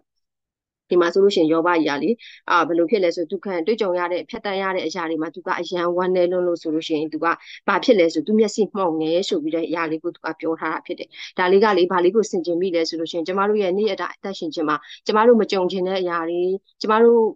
ကျမတို့ကိုတပါး ကဲရဲ့လောင်ပြောင်ရမယ့်အခြေအနေတွေကျမတို့မဖြတ်တန်းခြင်းတဲ့အခြေအနေတွေကိုအာကျမတို့နားမလည်နိုင်တဲ့အခြေအနေတွေကိုပေါ့နော်တွေ့ကြုံဖြတ်တန်းရတဲ့အခါမှာလေကျမတို့ကဘာဖြစ်သွားတာလဲဆိုတော့လေအာအခြေအနေတွေကကျမတို့ကိုလွှမ်းမိုးသွားတာဖြစ်တယ်နော်အာအခြေအနေတွေကကျမတို့ကိုလွှမ်းမိုးသွားတဲ့အခါမှာဆိုလို့ရှိရင်ကျမတို့ကမျက်စိမုံသွားတာဖြစ်တယ်အဲ့ဒါကဘာကိုပြောနေတာလဲဆိုလို့ရှိရင်တနည်းအားဖြင့်အခြေအနေတွေကမှုံသွားကိုကိုလွှမ်းမိုးသွားတဲ့အခါမှာဆိုလို့ရှိရင်ကိုကလေဖုံးကွယ်ခြင်းခံရတာဖြစ်တယ်အဲ့ဒါကဘာဖြစ်လို့လဲဆိုရင်ကျမတို့ကအခြေအနေကိုစစ်စစ်ကြည့်နေတဲ့အတ္တတာဖြစ်တယ်ပေါ့နော်ကျမတို့အမှားမှာဆိုလို့ရှိရင်စားသုံးစားသုံးခဲ့ပြီးသားနေတယ်ဖြစ်တယ်ပေါ့နော်ကျမတို့က ကျမတို့ကတခုခုဖြတ်တန်းရတဲ့အခြေအနေတိုင်းမှာဆိုလို့ရှိရင်ကျမတို့ကဘာကိုစစ်စစ်ပဲကြည့်ရမှာလဲဆိုလို့ရှိရင်ပေါ့နော်အာဖះကိုပဲစစ်စစ်ကြည့်ဖို့ရန်ဖြစ်တယ်ဖះကိုပဲစစ်စစ်ကြည့်မြော်မှသာလဲကျမတို့ကဖုံးကွယ်ခြင်းဒီပေါ့နော်ဖယ်ရှားခံရပြီးတော့ကျမတို့အပေါ်မှာထားတဲ့ဖះရဲ့ရည်ရွယ်ချက်ဖះဘာဖြစ်စေချင်တာလဲဆိုတဲ့အရာလေးကိုပေါ့နော်အာမြင်တွေ့ဖို့ပဲဖြစ်တယ်တကယ်တော့ကျမတို့လေနားမလည်နိုင်တဲ့အခြေအနေတွေဟိုဖြတ်တန်းရတဲ့အခြေအနေတွေ့ကြုံရတာကလေဖះကလေကျမတို့အတ္တတာထဲကျမတို့ရဲ့ဝိညာဉ်စိတ်ခန္ဓာထဲမှာယာလုံးပြည့်ပေါ့နော်သူနဲ့ပြည့်ပြည့်စေခြင်းလို့ကျမတို့ကိုတွေ့ကြုံဖြတ်တန်းစီတာဖြစ်တယ်ဆိုတဲ့အရာလေးကိုလည်းမွေ့တော်ဝမ်းမြောက်ရတယ်နောက်ပြီးတော့လေအဲ့ဒီအခန်းကြီး7ခွန်ရဲ့တစ်လေးမှာဆိုလို့ရှိရင်ပေါ့နော်ငါဝိညာဉ်ကြိုးပြက်ပြီဆိုလို့ရှိရင်လေဒါကကျမတို့ဒီယောဘကြီးဆိုသူပြောရတယ်နော်သူရှေ့တောင်သူမဆက်နိုင်တော့ဘူးအဲသူအရန်နာကျင်ရတယ်သူအသက်မရှင်နိုင်တော့ဘူးအဲ့လိုမျိုးသူပြောတဲ့အခါမှာဆိုလို့ရှိရင်ငါဝိညာဉ်ဒီကြိုးပြက်တယ်ကိုမကြိုက်တဲ့အချိန်လေးကိုမကြိုက်တဲ့အချိန်လေးဆိုတော့မှဒီမှာလေသူက ဖုန်းနောက်လေးဘေးလေးဘေးလေးပေါင်လေးမှာဆိုလို့ရှိရင်ကျမ်းပိုက်လေးနဲ့သူကကျူးမွေးထားတာအဲ့ဒါကစာလန်51စက္ကွန်ပေါ့နော်စာလန်51စက္ကွန်မှာဆိုပြီးသူကဘာပြောထားလဲလို့ဆိုတော့ဖျားခင်နှစ်သက်တော်ရစ်မှုကတဲ့ကျိုးပဲ့တော်ကျိုးပဲ့တော်ဝิญဉ်ပေဒီပေါ့နော်ကျမတို့ကလေကျမတို့တက်တာမှာအရန်နာကျင်ပြီးတော့ကျမတို့ဝิญဉ်ကကျိုးပြတ်တဲ့အခြေအနေပေါ့နော်ကိုမကြိုက်တဲ့အခြေအနေဝิญဉ်ဗလာကျမတို့ရဲ့ဝิญဉ်ကလုံးဝဗလာဖြစ်နေတဲ့အခြေအနေကဖျားအရန်ကြိုက်နေတဲ့အခြေအနေဖြစ်တယ်ဖျားက ဒီအဲ့လိုအခြေအနေကိုအရန်ကြိုက်နေတဲ့ဘာဖြစ်လို့လဲဆိုတော့သူကလေရာနှုံးဖြစ်အဖြစ်ခံလို့ကောင်းတဲ့အခွင့်ပေးတဲ့ပေးနိုင်တဲ့အခြေအနေဖြစ်တယ်ပေါ့နော်ကိုမကြိုက်တဲ့ကိုအရန်နာကျင်လို့ကိုမကြိုက်ဘူးအဲ့အခြေအနေကလေဖះရာနှုံးပြီပေါ့နော်အဖြစ်ခံလို့ရတဲ့အခြေအနေဖះနှစ်သက်တဲ့အခြေအနေဖြစ်တယ်ဆိုတဲ့အရာလေးကိုလည်းပေါ့နော်အာကျွန်မတိဆောက်ခံရတယ်နောက်ပြီးတဲ့ခါကျတော့ပေါ့နော် မာလေးကိုမွေးလို့ရသေးတယ်ဆို30မှာဆိုလို့ရှင်သူကပြောတယ်လေတင်းတို့မူကားတဲ့တရားမှမကျွင်းနဲ့ပြန်သွားကြတော့တဲ့တင်းတို့တင်ပညာတစုံတစ်ခုခုများငါမတွေ့နိုင်တဲ့အမှသူကပြောထားတယ်နော်နင်တို့တွေတဲ့ပြန်သွားကြတော့ဘာနင်တို့ရှိမှပညာပညာပညာရှိတစုံတယောက်ကိုမှငါငါမတွေ့နိုင်ဆိုပြီးတော့လေဂျော်ဘကြီးကလေတီးမခံနိုင်ပဲနဲ့သူကလေပြန်ပြီးတော့နော်မောင်မောင်ထုတ်တယ်ပြန်တော့ဆိုပြီးတော့သူကပြောပြောတာဖြစ်တယ်နော်အဲ့ဒါလေးမှလည်းကျွန်မကဘာလေးကိုဝေ့လို့ရလဲဆိုလို့ရှိရင်ပေါ့နော်ဒီအာသူတို့ပါအာ 16ရက်ပေါ့နော်16ထဲမှာဆိုလို့ရှိရင်လေအာရန်သူကလေငါ့ပေါ်မှာအန်တာခက်ချင်ချင်ကိုပြုတော်မူဒီရန်သူဒီငါ့ကိုမျက်စောင်းထိုးကြီးဆိုလို့ရှိရင်ဒီမှာရန်သူကစိတ်တူပြီးတော့ကိုကိုပေါ့နော်ဒေါသထွက်နေတဲ့အခြေအနေလေးနဲ့ပတ်သက်ပြီးတော့လေဒီဘက်ကျန်းစာလေးထဲမှာပေါ့နော်အဲ့ဒါကအခန်းကြီး16ရဲ့ကိုလေးမှာဆိုလို့ရှိရင်သူကဘာပြောထားလဲဆိုလို့တမန်တော်ခွန်54မှာဆိုလို့ရှိရင်တတိဖန်ရဲ့အတ္တတာလေးကိုလေအာဟိုဟိုပြောထားတာဖြစ်တယ်ပေါ့နော်အဲ့ဒါလေးကိုကျွန်မကလေတမန်တော်ခွန်54မှာတတိဖန်ကိုစင်ကျင်ရင်းနဲ့ဒီ အာအခန်းကြီး16ရဲ့30လေးနဲ့ကျွန်မကဘာလေးကိုဖះကဖွင့်ပြလဲဆိုလို့ရှိရင်အာတတိဖန်ရဲ့တက်တာကလေအာသူ့ကိုပေါ့နော်မဟိုမတရားဆွဆွဲပြီးတော့ခါကြတော့သူဘယ်လိုလဲဆိုတော့ကြောက်ခဲနဲ့ကြောက်ခဲနဲ့ပြစ်ပြီးတော့ပေါ့နော်အာမြို့ပြင်ကိုထောက်ပြီးကြောက်ခဲနဲ့ပြစ်ပြီးစက်တဲ့အခြေအနေကိုတတိဖန်ကကြုံတွေ့ရတာဖြစ်တယ်အဲသူသူပြောလိုက်တဲ့စကားကိုလေ ဟိုရန်သူကတတိဖန်ရဲ့တတိဖန်ကိုအန်သားခက်ချက်စိတ်တူပြီးတော့လေအာအဲ့ဒီ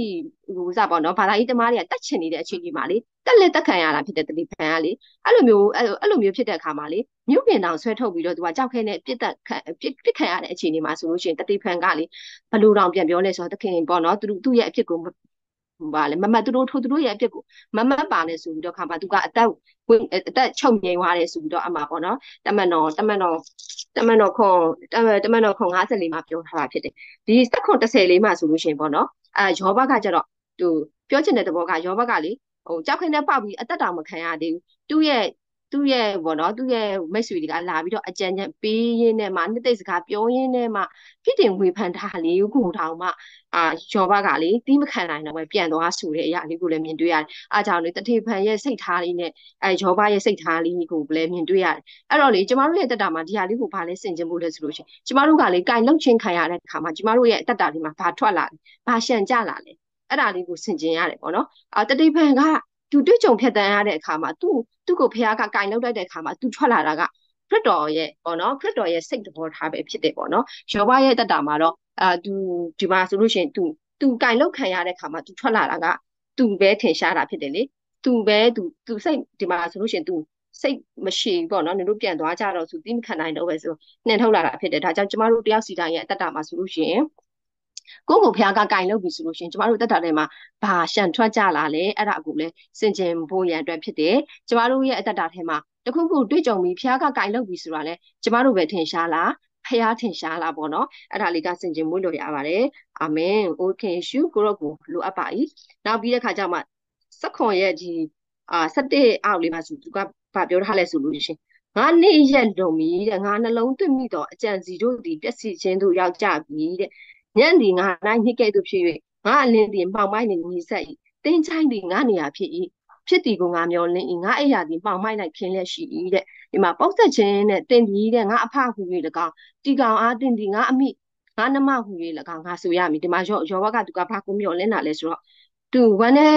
လွန်အားကြီးတဲ့သူ့ရဲ့အခြေအနေတွေကိုသူဖြတ်တန်းရတဲ့ခါမှာသူကမျော မျောလင့်တာတေဖို့ပဲမျောလင့်တာဖြစ်တယ်။တင်ချိုင်းကသူ့နေရာပဲဖြစ်တယ်ဆိုတဲ့ຢာကိုသူမျောလင့်တာဖြစ်တယ်။တင်ချိုင်းမှာပေါ့နော်ကျမတို့မြေပြုတ်လိုက်ပြီဆိုလို့ကျမတို့ကဒီမှာယောဂယောဂပြောထားရနော်တီကောင်တွေကသူ့ကိုလွမ်းမိုးတယ်တဲ့ဒီသူ့ကိုဟိုတင်ချိုင်းထဲမှာမြေမြုပ်တဲ့အခြေအနေကိုပဲသူကမျှော်လင့်တာဖြစ်တယ်။တို့ဖြစ်၍တဲ့အဘယ်တို့ငါမျှော်လင့်ရတယ်နီးတဲ့။ငါမျှော်လင့်စရာအကြောင်းကိုအဘယ်သူမြင်တယ်နီးတဲ့။သူကလေမျှော်လင့်တာဗာမျှော်လင့်တာလဲဆိုလို့ရှင်မရဏနိုင်ငံတွေကိုဝင်ပြီးတော့အာဒီမှာဆိုလို့ရှင်မြေမုံနိုင်သူကနဲ့သူက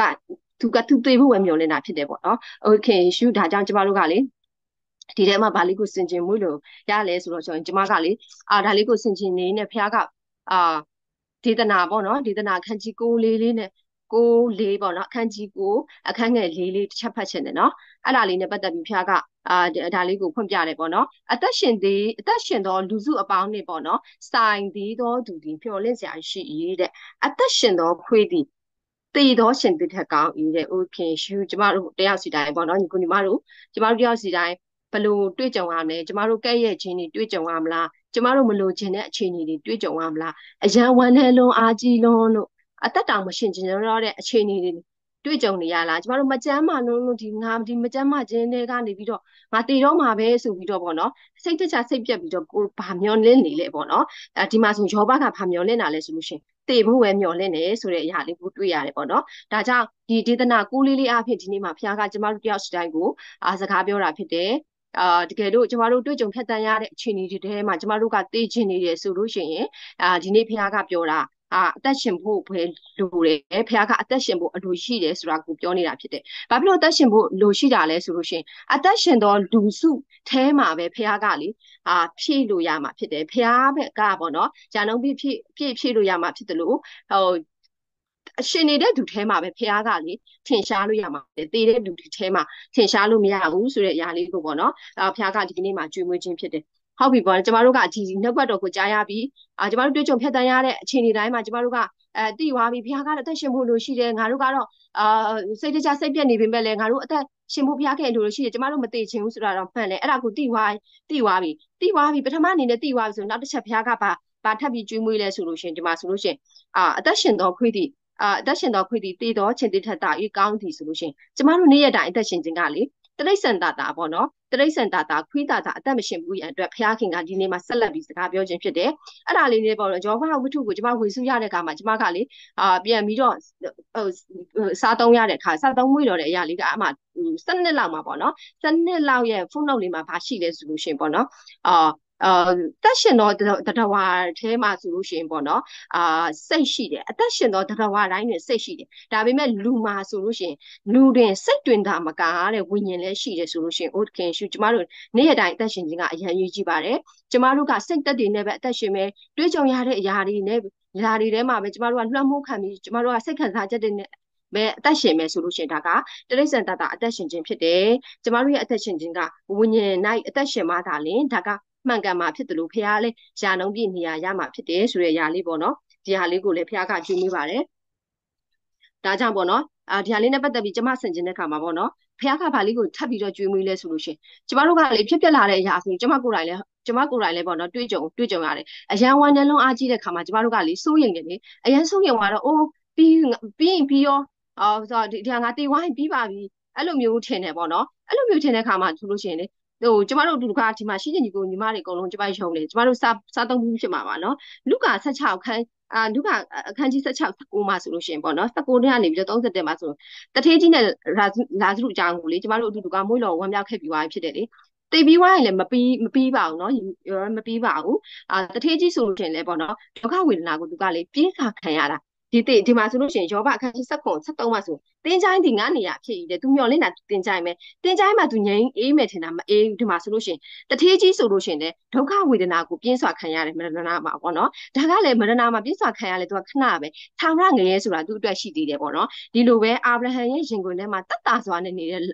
လာဇရုကကြတော့လေပေါ့နော်တတ်တာချင်းကိုသူကလေ ခဏပဲခံစားခံစားရတာဖြစ်တယ်။နောက်ပြီးတဲ့ခါမှာလာဇရုကဘာရှိသေးလဲဆိုလို့ရှင်သူတက်တက်လုံးသူကအနာရောဂါနေနေပဲသူကမကြမ်းမဆောင်နေနေခဲ့တဲ့ခါမှာဆိုလို့ရှင်သူကလေသူအသက်ရှင်စင်မှာဘလို့အသက်ရှင်ခဲ့လဲဆိုတာခရစ်တော်ရဲ့တရားပလင်ရှိမှာဆိုလို့ရှင်သူကလေအလုံးနဲ့အကျင့်ကိုစစ်စစ်ခံအောင်ဖြစ်တယ်။အိုခင်ရှုဒါကြောင့်လေကျမတို့နော်အာကျမယူပါအဖြစ်ဆိုလို့ရှင်ပြီးခဲ့တဲ့ယောဘဝတ္ထုခန်းကြီး14ရက်နှစ်လေးမှာဆိုလို့ရှင်ကျမတို့သူကမွေးတော်ဆင်ခြင်းပြီးသွားပြီဖြစ်တယ်အဲ့ဒါက အာပန်းပွင့်ကဲ့သို့ပွင့်ရင်ရိတ်ဖြတ်ခြင်းကိုခံရပါ၏တဲ့မတီမရက်ပဲအရိတ်ကဲ့သို့ရွှေ့တတ်တတ်ပါ၏ကျမတို့ကလေတရားမဲ့ဘဝတွေပါကျမတို့ကတရားမဲ့ဘဝတွေပါနော်ကျမတို့အရင်နေခြင်းလုံးလို့လည်းအသက်200မနေရပါဘူးကျမတို့တရားမဲ့ဘဝတွေပါဒါကြောင့်လေကျမတို့ရဲ့အသက်ရှင်ခြင်းကအရင်ကြီးကြီးတယ်ခဏပဲအသက်ရှင်ခြင်းကကိုကိုစိတ်အဆင်ပြေရင်လည်းဒါခဏပဲအဆင်မပြေရင်လည်းခဏပဲပေါ့နော်ဒါကြောင့်ကျမတို့အသက်ရှင်ခြင်းကအရင်ရေးကြည့်တာဖြစ်တယ်ဘာဖြစ်လို့အရေးကြီးတာလဲဆိုလို့ရှိရင်ကျမတို့ကအာဖခင်ကကိုယ့်အထဲမှာအသက်ရှင် ကိုကိုအသက်ရှင်မှာပဲဖခင်ကရတော့ပြည့်ဖြည့်ပေးလို့ရမှာဖြစ်တယ်ဖျားခင်ရဲ့အလိုတော်အကြံစီကလေအသက်ရှင်တဲ့သူအแทမှာပဲဟိုပေါ့နော်အလုံးလုံးလုံးလို့ရမှာဖြစ်တယ်ဒါကြောင့်ယနေ့အသက်ရှင်ခြင်းကညီကိုညီမတို့အရင်ရေးကြည့်ပါတယ်ဒါကြောင့်ကျမတို့နေ့ရက်တိုင်းအသက်ရှင်ခြင်းမှာဘာကိုမျော်လင့်မိအသက်ရှင်ရှင်လဲပေါ့နော်အာအသက်အသက်ရှင်လဲအဲ့ဒါလေးကိုစဉ်းစားစင်ကြင်မွေးတော်ဖို့ဖြစ်တယ်ပြီးတော့ယောဘခန်းကျူအာယောဘဝတ္ထုခန်းကြီး15မှာဆိုလို့ရှိရင်ကျမတို့ကျမတို့အမှပေါ့နော်ကျမတို့ ကျမတို့ယူဆောင်ရမယ့်အရာကရှိတယ်ဖျားခင်ရဲ့အာဏာတော်ကိုစန့်ကျင်ပြီးအနန္တတကုရှင်ဘက်ကနေခိုင်ခန့်အောင်လှုပ်ဆောင်နေမယ်ဆိုလို့ရှိရင်အဲ့ဒါကတနည်းအားဖြင့်ဆိုလို့ရှိရင်ခရစ်တော်ကိုဘုံမပြုတ်ပဲနဲ့ငါကိုဘုံပြုတ်တဲ့တတ်တာဖြစ်တယ်ပေါ့နော်အဲ့လိုလူမျိုးအတွက်ကမောင်မိုက်ကာလာကအစဉ်တဲ့ရှိတယ်ဆိုတဲ့အရာလေးကိုကျမတို့စင်ကျင်ပြီးတော့အတ္တတာကိုယူဆောင်၆လောက်မှုလို့တလို့အာဒီမှာဆိုလို့ရှိရင်16နဲ့16လေးမှာဆိုလို့ရှိရင်ကျမတို့ကလေအာ အာဒီမှာဆက်ဆက်ခွန်ရဲ့ခွန်လေးမှလို့ဝမ်းနေခြင်းအားကြီးလွန်းလွန်းကြောင့်ကျမတို့ကမျက်စိမုံစရာအကြောင်းဘာအကြောင်းမှမရှိဘူးပေါ့နော်ဝမ်းနေခြင်းတွေဘလို့ပဲတွေ့ကြုံလာလားကျမတို့တွေ့ကြုံရတဲ့ဝမ်းနေခြင်းတွေထဲမှာအချိန်တွေကတော့မပြောင်းလဲသွားပါဘူးဖခင်ကကျမတို့နဲ့အတူတူပေါ့နော်အတူတူအစင်မြဲရှိနေတဲ့ဖခင်ဖြစ်တယ်ဒါကြောင့်ဖခင်ကိုပဲစစ်စစ်မျှော်ကြည့်ဖို့ပဲလုပ်တယ်ဖခင်ကိုမျှော်ကြည့်မှသာလေကျမတို့က အဖြေကဖះရှိမှာပဲဖြစ်တာရှိတာဖြစ်တယ်။နောက်ပြီးတော့ဆိုလို့ရှိရင်စာနယ်83နှစ်အဖြစ်ပေါ့နော်ဒီ15လေးပါသူပြောရတယ်ဆိုလို့ရှိရင်ကျမတို့ကလေနားမလည်နိုင်တဲ့အခြေအနေကျမတို့မဖြတ်တန်းခြင်းတဲ့အခြေအနေမတရားတဲ့လူတွေကတော့ကောင်းစားနေတယ်ငါတို့ကတော့ဖះဖះလူတွေဖြစ်ပါရဲ့နဲ့ဖះသားသမီးဖြစ်ပါနဲ့ဘယ်လိုတွေးကြုံရလဲအဲ့လိုအခြေအနေမျိုးတွေးကြုံနေဆိုလို့ရှိရင်ကျမတို့သွားဖို့နံပါတ်1ကဝิญဉာဏ်နိုင်ပဲဖြစ်ပါတယ်နံပါတ်2ကကျမတို့အတင်းတော်နိုင်ပဲဖြစ်ပါတယ်ပေါ့နော်တကယ်လို့ကျမကကျမဥပမာကျမပြောတာကျမကဒီ အတင်းတော်လိုက်တာကျမမရှိဘူးကျမဒီဝေစုကိုရမှာမဟုတ်ဘူးကျမပေါ့တီပေါ့ပြက်နဲ့ရော့တီရော့နဲ့ကျမသိချဆင်နေပြီးမှမဟုတ်ဘူးပေါ့နော်ဒါကြောင့်ညီကိုညီမတို့ဘလို့ပဲအချိန်ကြီးတွေ့ကြုံတွေ့ကြုံနေပါစေနံပါတ်1ကျမတို့ကတက်ရှင်ရဌာနတော်ဒီဟူတော့ပေါ့နော်ကိုရောကိန်းကုတော်နေရဝิญญาณရှိဖို့လို့တလို့အသင်းတော်နိုင်ရှိဖို့လို့တယ်ဆိုတဲ့အရာလေးကိုမွေးတော်ဝမ်းမြောက်ရတယ်ဒါလီဓမ္မသာလင်ကျမတို့အသက်တာမှာတွေ့ကြုံရတဲ့အခြေအနေတိုင်းရဲ့အဖြေကိုရရှိမှာဖြစ်တယ်ဓမ္မသာလင်ကျမတို့ကလွတ်မြောက်ခြင်းနဲ့ခံစားရမှာဖြစ်တယ်ဆိုတဲ့အရာလေးကိုမွေးတော်ဝမ်းမြောက်ရတယ်အဲအခန်းငယ်ဆက်ခွန်ရဲ့ အခွန်လေးမှလို့ကျမတို့ကဝမ်းနေခြင်းအားကြီးလို့မိမျက်စိမုံစရာအကြောင်းမရှိပါဘူးเนาะကျမတို့ကဖះကိုပဲစစ်စစ်ကြည့်တဲ့အခါမှာကျမတို့ဖုံးကွက်ခြင်းတွေဖယ်ရှားခံရမှာဖြစ်တယ်ဖုံးကွက်ခြင်းတွေဖယ်ရှားခံရတဲ့အခါမှာဆိုလို့ရှိရင်ကိုယ့်ကိုယ်ပေါ်ဖះဘာဘာရည်ရွယ်ချက်လဲကိုယ့်ကိုကိုယ့်ကိုဖះဒီလိုဖြတ်တန်းစီတာကဘာလဲဆိုတဲ့အရာကိုပေါ့เนาะကျမတို့ရှင်းနေစာတွေ့မြင်ရမှာဖြစ်တယ်လို့ဖះကလည်းကျမတို့ထဲမှာရှားနှုံးပြည့်ပေါ့เนาะဖြည့်ဖြည့်လို့ရမှာဖြစ်တယ်ဆိုတဲ့အရာလေးကိုလည်းဒါကျမတို့ယူဆောင်သွားဖို့ဖြစ်တယ်အာပြီးတဲ့ခါကျမှ 16ရက်14မှာလိုပဲပေါ့နော်ယောဘကသူ့ရဲ့မိတ်ဆွေတွေကိုပြန်တုံ့ပြန်တဲ့အခါမှာဆိုလို့ရှိရင်ကျမတို့ကဘာလိကိုစင်ကျင်မွေးတော်ဖို့ရန်အတွက်ဖြစ်လဲဆိုလို့ရှိရင်တထိဘန်ရတက်တာမှာဆိုလို့ရှိရင်သူ့ကိုပေါ့နော်အာစိတ်တူဒေါတာထွက်ပြီးတော့ဘာသာရေးသမားတွေကသူ့ကိုတက်တက်တက်တဲ့အခြေအနေဖြစ်တာတောင်မှလေတတိဖန်ရဲ့စိတ်ထားလေးကပေါ့နော်ဒါသူတို့ရဲ့အပြစ်ကိုမမတ်ပါနဲ့ဆိုပြီးတော့ပြန်ပြန်ပြောတယ်ပေါ့နော်အာဒါကလေပြောရတာလွယ်ပါတယ်ကျမတို့တက်တာမှလည်းကျမဆိုတော့ခတ်ပါတယ်နော်အဲ့လိုမျိုးဆိုဒီမှာဆိုယောဘဆိုလို့ရှိရင်တော့ဒီမှာစကားလေးနဲ့သကနာလေးဒီကားလေးနဲ့ တင်ကြီးတာပြောဆိုတာတော့မှလေယောဘကတီးမခံနိုင်ပဲပြန်သွားပါဆိုလို့ရှိရင်ပြောတာဖြစ်တယ်။ဒါကြောင့်ကျမတို့ရဲ့အသက်တာမှာဖျားကလေးလှုပ်ခါလိုက်တဲ့အခါမှာကျမတို့ထဲမှာဘာရှန်ထွက်သွားလဲ။အာဖျားရဲ့ခရစ်တော်ရဲ့တဘောတွေဖျားရဲ့တဘောတွေရှန်ထွက်သွားလား။ကိုယ်ပဲဇာတိတွေပဲထင်ရှားဒေါသကိုစင်ကြင်မွေးလို့ဖို့ရန်အတွက်အာကျမတို့ရဲ့တက်တာတွေမှာယူဆောင်သွားဖို့ဖြစ်တယ်။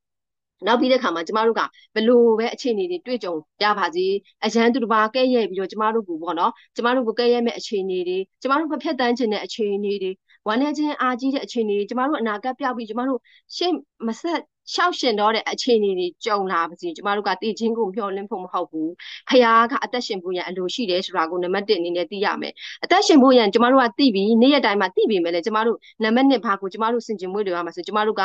ဝိညာဉ်နဲ့ပဲအသက်ရှင်ဖို့လိုတယ်စိတ်နဲ့ကျမတို့ကစိတ်သက်နဲ့အခြေအနေတွေပေါ့ကိုကျမတို့ကလွှမ်းမိုးခံပြီးအသက်ရှင်မယ်ဆိုလို့ရှိရင်အဲ့ဒါကတရိစ္ဆန်တာတာပဲအသက်ရှင်နေတာဖြစ်တယ်ဆိုတဲ့အရာတွေကိုမွေးလို့ဝမ်းမြောက်ရတယ်ပြီးတဲ့ခါကျကျမတို့က တည်ပြီးပြီးွားပြီလို့မထင်နဲ့တည်ပြီးတဲ့နောက်ွယ်မှာလည်းပေါ့နော်အာစီရင်ချင်းတွေရှိတယ်တည်မရဏထဲမှာလည်းအမှဆိုလို့ရှိရင်ပေါ့နော်ပြင်းစွာခံခံခံရတာတွေရှိတယ်လာဇရုကတ်တို့တက်တာချင်းကိုခံရအောင်မယ်ဆိုလို့ရှိရင်လာဇရုလာဇရုကဆိုလို့ရှိရင်ခရစ်တော်ရဲ့တရားပလင်ရှိမှာအလုံးနဲ့အကျင့်ပေါ့နော်အာသူကစစ်စစ်ခံဖို့ရန်ရှိတယ်ဆိုတဲ့အရာလေးပေါ့နော်အာဒါလေးကိုပေါ့နော်ဖះဖះ ဖះအလင်းဖွင့်ပြတဲ့အရာလေးကိုတိဆောက်ခံရတဲ့အရာလေးကိုစီစဉ်တယ်။ဒါကြောင့်ကျမတို့လေဖြစ်တွေ့ကြုံရတဲ့အခါမှာအခြေအနေတွေပြောင်းလဲဖို့မစင်စားပါနဲ့။အခြေအနေထဲမှာဝမ်းနေခြင်းတွေကြုံတွေ့ကြုံရပြီဆိုလို့ရှိရင်ဝမ်းနေခြင်းထဲမှာဖះခင်ရှိပါတယ်။အခြေအနေထဲမှာကိုဖះခင်ရှိပါတယ်။ဝิญဉ်ဘက်ပဲလက်တည်ပြီးအသက်ရှင်ရှင်ရှင်မှာဖះကိုပဲမျှော်ကြည့်ပါလို့ကျမတို့ကဘာလို့ပြောရလဲဆိုရှင်ကျမတို့အသက်တာထဲမှာကျမတို့ဖြစ် ဖြစ်တဲ့တစ်ခုစီတိုင်းရဲ့အဖြစ်ကျမတို့ကိုဟိုဘယ်လိုခေါ်မလဲကျမတို့ကိုယူဆိုင်ပြီးချစ်တဲ့အရှင်ကဖရားတစ်ပါးတည်းရှိလို့ပဲဖြစ်တယ်တခြားလူကိုမှသွားပြီးမမျောလင်းတခြားလူကိုရင်ရင်မဖွင့်နဲ့တခြားလူကိုအားမကိုးနဲ့ဖရားကိုပဲအားကိုးဖို့ရန်အတွက်ဖြစ်တယ်ဆိုတဲ့ຢာလေးကိုမွေးလို့ဝမ်းမြောက်ရတယ်အာအဲ့ဒါလေးကိုစစ်စစ်နဲ့ပြီးတဲ့ခါကျတော့ပေါ့နော်ကျမစာသားလေးကိုဝန်ခံချင်ပါတယ်ဒါကဆရာကွယ်ပြီးခဲ့တဲ့ရက်တွေထဲကပို့ထားတဲ့ message လေးဖြစ်ပါတယ်ပေါ့နော်ကျွန်တော်ကျွန်တော်ဤဖြစ်ခြင်းကိုကျွန်တော်ကိုအမှန်ချစ်တော်ချစ်သူယေရှုကပဲအပြည့် အဝအမျက်ရယူပါစေကျွန်ုပ်ခရစ်တော်ကိုရရှိသည့်မိသည့်ပမာဏမစုကျွန်ုပ်အတွက်မြတ်ဖြစ်သည်ကျွန်ုပ်၏ဖြစ်ခြင်းပမာဏမြူများကိုခရစ်တော်အမျက်ရနေပါသည်အာမင်အိုခင်ရှုကျွန်မတိဆောက်ခံရတဲ့ဝိစုလေးကိုပထမဥစွာစစ်စစ်ပါတယ်ဖခင်တာ၍အလင်းဖွင့်ပြပါစေအာမင်အာမင်အာမင်